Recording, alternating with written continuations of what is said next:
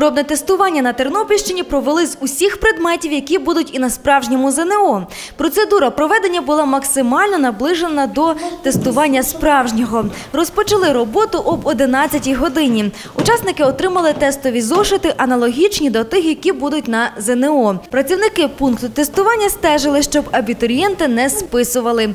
Наприкінці усі учасники отримали ключі відповіді до тестових завдань. Ми е, допомогли нашим абітурієнтам зрозуміти наступні їхні сподівання, їхні можливо розчарування, але справді тестування буде відбуватися за тою схемою, за відлагодженими механізмами.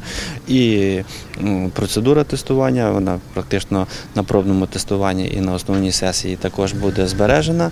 Е, Таким чином, це є досить хороша підготовка до червневого складання іспитів.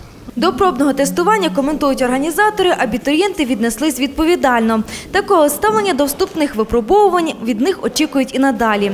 Зараз учасники пробного тестування можуть співставити свої знання і результати інших учасників. Необхідно е, до 4 квітня зайти на свою персональну сторінку е, на сайті Івано-Франківського регіонального центру оцінювання якості освіти, знайти рубрику Результати пробного тестування, активізувати її.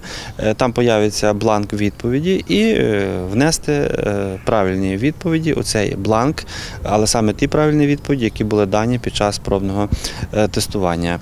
Е, Після 4 квітня е, буде відповідні рейтингові списки е, всіх учасників пробного тестування.